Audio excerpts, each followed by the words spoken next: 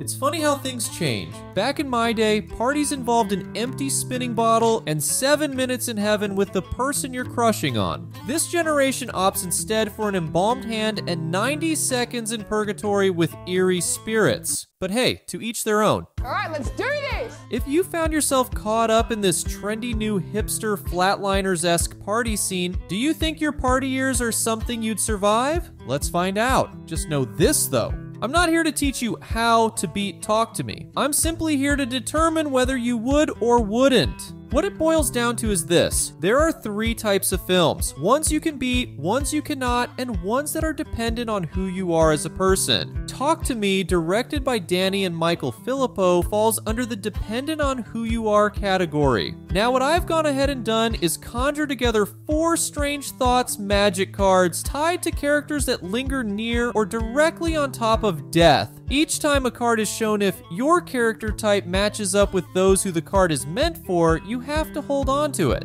The back of one of these four cards is marked by blood, cursing you to guaranteed defeat. When all this is said and done, will you be holding on to the death card?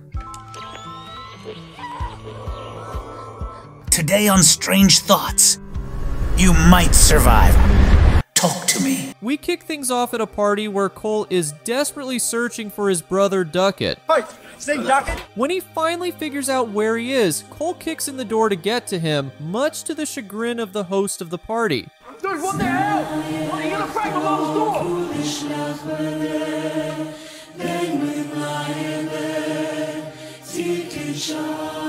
And from the looks of it, Duckett's had quite the rough night. That's okay though. This is what older brothers are for. Cole's gonna take him home, and Duckett's gonna never drink Everclear again. Cole takes a second before they leave to lecture the kitchen dwellers on their poor taste Snapchat story habits. Duckett's gotta feel so, so blessed to have a brother like.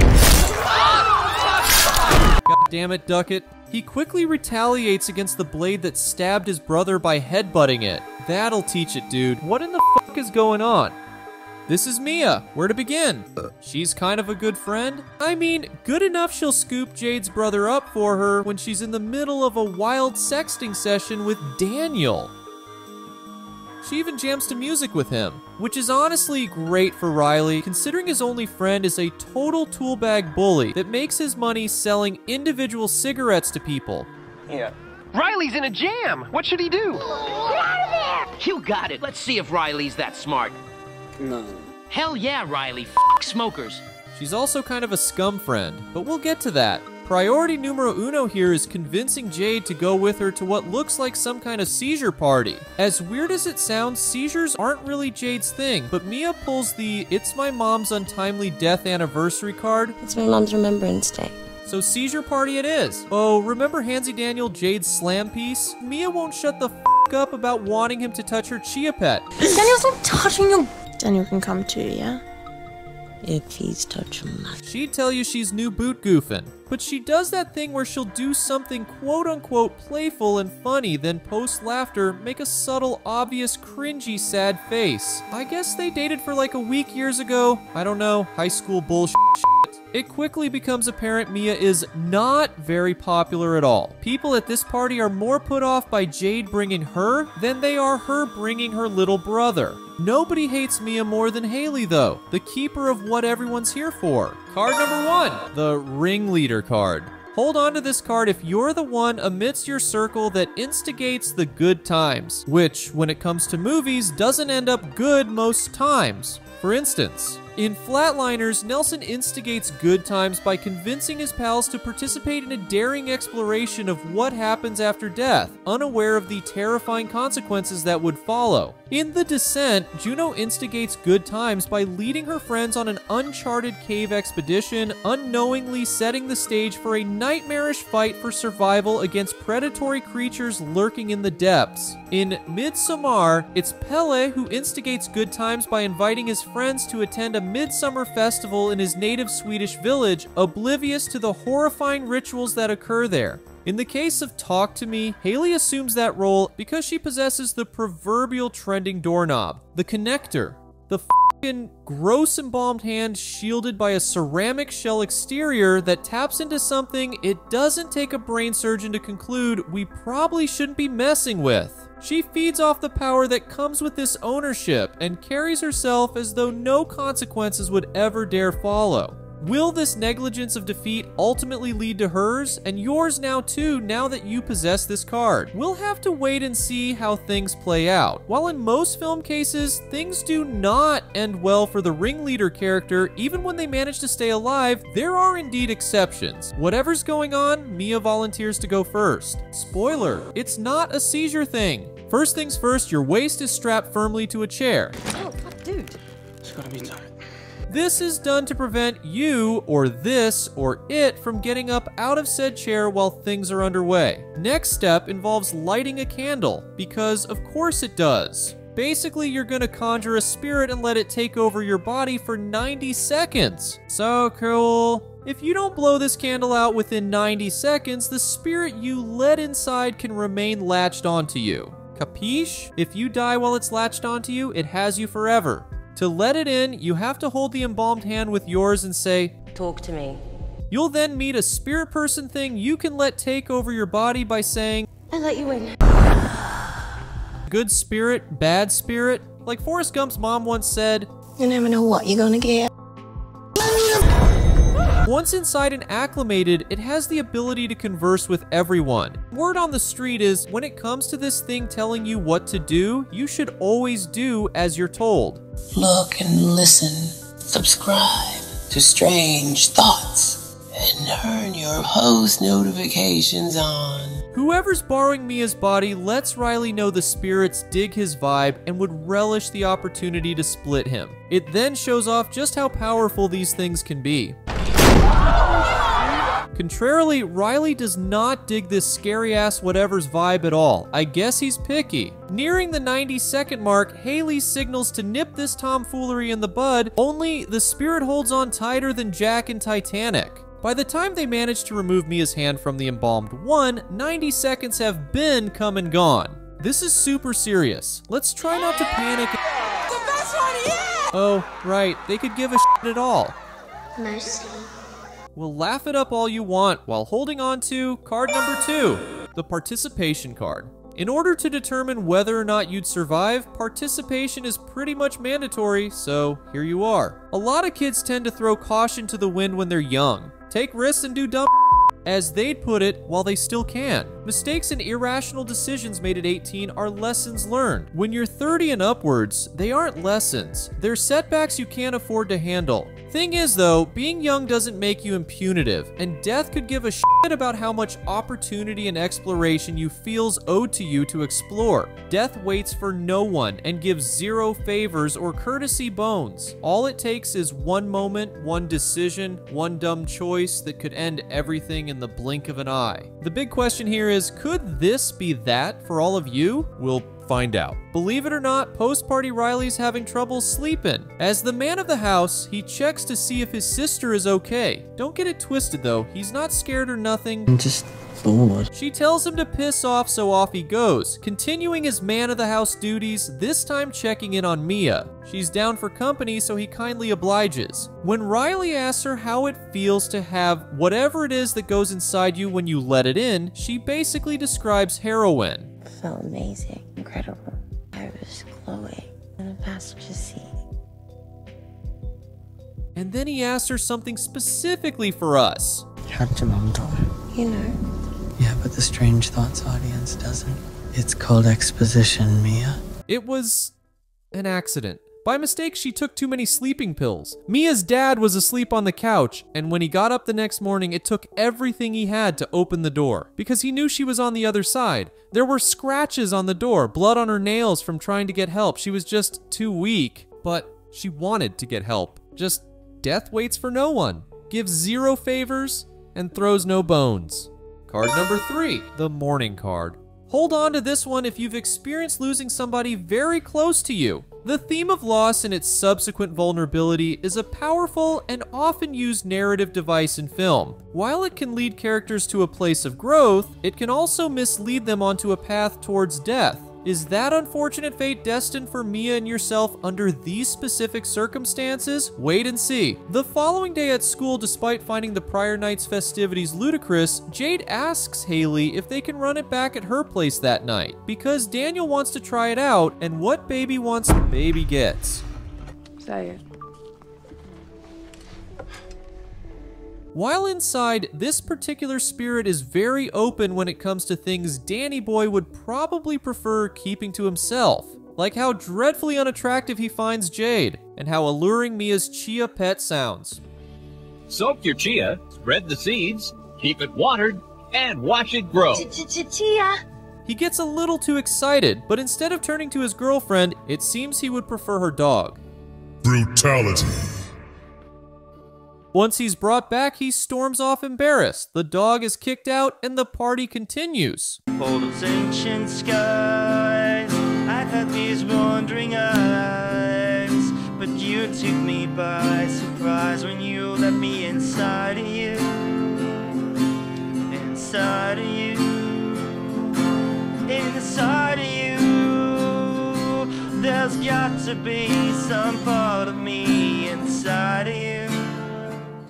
As the get together starts to unwind, Riley pleads with Jade to let him let an entity take control of his body too, but for some reason, she says no. He gets combative about it, so she brings up how fing terrified he was last night. So much so, he wanted to sleep in her bed, and he was only begging to partake in things now to look cool in front of his cigarette dealing sort of friend and the older guys and gals in the room he wishes he was as brave and dope as. Final card the perception card. Hold on to this card if you'd consider yourself to be pretty insecure about your value as a person. The type of insecurity that sees you often doing things solely to impress others in a manner that might bring more value to you in their eyes. I mean, take that 2005 Bruce Willis movie Hostage, for example. All Dennis cares about is looking cool to his not cool friend Mars, leading to a royally hostage situation that ultimately gets his brother and himself both killed. Sure, the underlining lesson is to never be friends with sinister looking dudes who go by planets, but underneath that lies the tragic reality of what can happen when you try too hard to seek someone else's validation. Will your fate be as cruel and twisted as Dennis's? We'll find out. Mia, in scum friend fashion, undermines Jade's demand that he not participate in the ritualistic fun.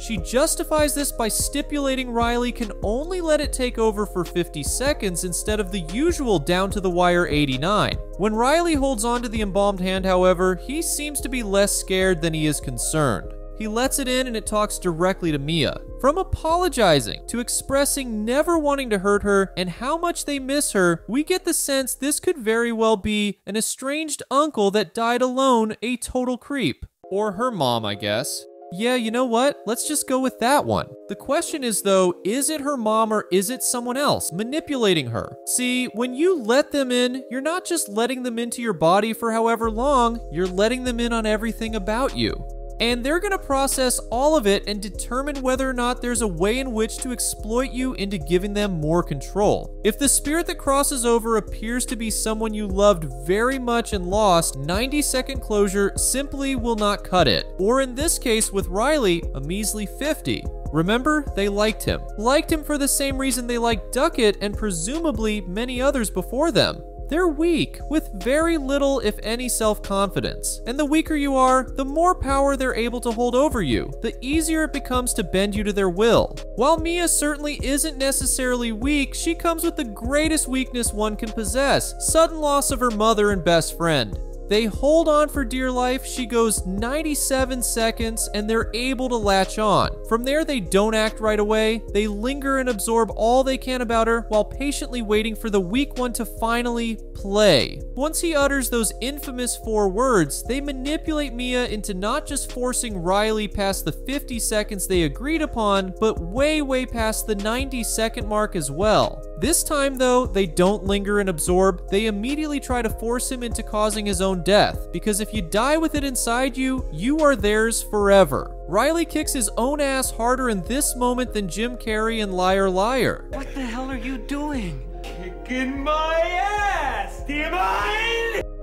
As Riley goes for the kill shot, Jade acts quick and shields the blow with her hand. They restrain him and call 911, but what they don't do is blow that yellow candle out. Mia stumbles out the room completely shell shocked and sees what looks like her mom outside a back door. This is problematic. The cops try to figure out what happened, but our band of conjurers aren't talking. Anything they could want to know, though, is all over Snapchat, TikTok, and Instagram. At home, all Mia's dad wants to talk about is what happened, but all I want to talk about is why this family keeps their home so dark at all times. Mia goes to her room, and would you look at that, she brought the hand with her, and she gently caresses it like a proud lover might post rough sex during aftercare cuddles. She tries to visit Riley at the hospital but neither Jade or her mom want her there at all. That's fine though, because Mia's mom shows up at the hospital too, and it's pretty clear she does want Mia with her. Michael Cera 2.0 neglects his girlfriend's side to check in on how Mia's doing, and she plays the I'm scared to sleep alone card, so he selflessly decides to go home with her. The two share a moment, you can practically see and hear the fireworks erupting above them, and well,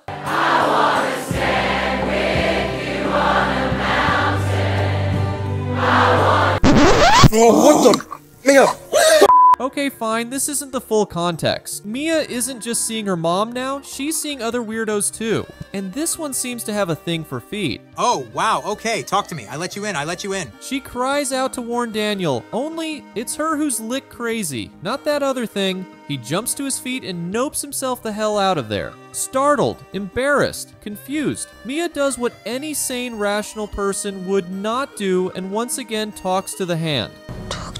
Finally, Mia comes face to face with her not mom, but she's too emotionally invested in the idea it's her mother to spot the similarities to the beat lady she lost her conjuring virginity to. Mia asks her if she unalived herself on purpose, to which her not mom basically says, No, no, you kidding? I never wanted to leave you. Sidebar though, honey, Needs your help, McKay. And then they not mother daughter cuddle, which implies that Candle stays lit all night. Negligent on two levels. One, imagine the latch control they have over Mia now. And two, you should never leave a candle lit while you sleep, especially on the floor. The band gets back together and Mia confesses she's Haley Joel osmenting dead people without the need to hold hands with the hand prompting the ringleader and sidekick to divulge the true origins of how they acquired it in the first place. Seems it was handed down by Duckett just prior to his blade mishap, and P.S. Duckett had been telling people he could see dead people without the hand's help too. And P.S.S. These spirit things can imitate whatever they want. And well, shit, guys. Things that could have been brought to my attention yesterday! Mia's got it rough here, but so does Riley. Jade brings up every time he comes to, he tries to go permanently bye bye. The gang realizes there's only one thing they can really do at this point. Turns out Duckett's brother Cole is still alive, so they pay him a visit.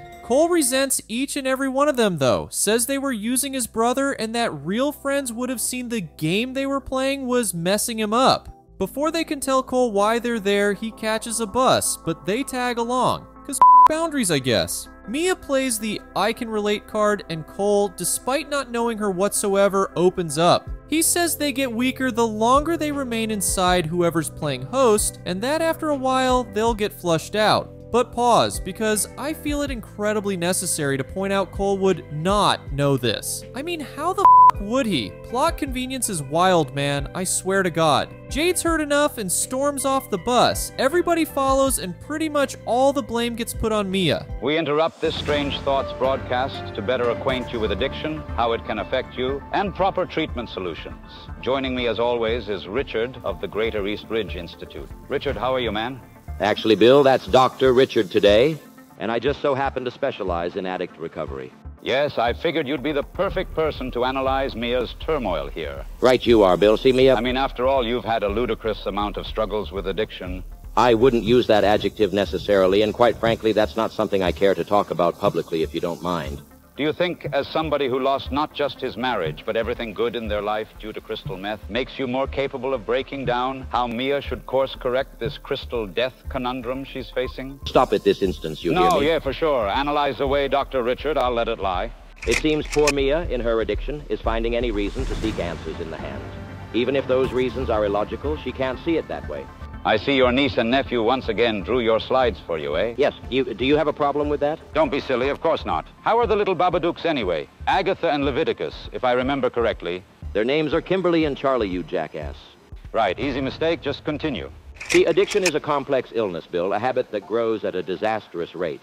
You would know that, wouldn't you, Richard? Bill? Sorry, just a habit, my bad. At the bus stop, as all of the blame is being placed on Mia for what happened with Jade's brother, Mia suggests the candle might have never been blown out that night. And to fix what has transpired, they should have Riley conjure another spirit so that they can make sure with certainty they do in fact close the door this time. What a brilliant idea. Well, no, Bill, it's not brilliant. Riley's in a coma, so he'd have no ability to utter the phrase, talk to me or I let you in. But see, I think Mia knows this. I think she knows this and only recommends such a plan. So when they quote unquote realize Riley's inability to perform the ritual himself, she can volunteer to do it for him. Wow. Well, you'd be amazed the lengths those struggling with addiction will go to just to get their fix. Is it true what they say, Richard? Who and is what true, Bill? American rock group Third Eye Blind in their hit song Semi Charmed Life. That crystal meth will lift you up until you break. You know what? This conversation's over. Oh, come on, don't be such a ninny. I've had it up to... You were so much more fun on methamphetamine. You know that? How dare you try and enable me? I am done with this conversation. Goodbye. Wait, Richard, one more thing. Christ, what now?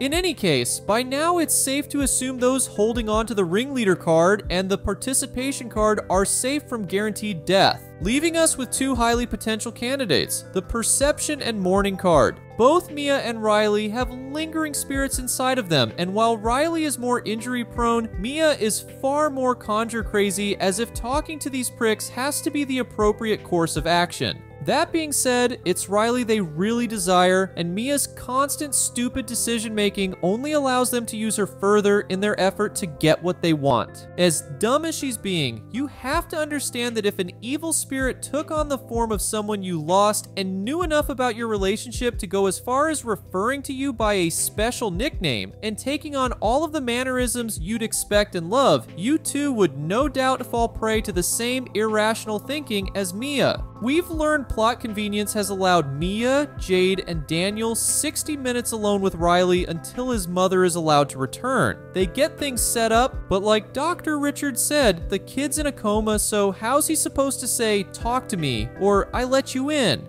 Mia volunteers to do the ritual on behalf of Riley, which seems less productive than it does trying to make rules up on the fly. She tries specifically asking to talk with Riley, but a little girl answers the call instead, promising she can take Mia to him.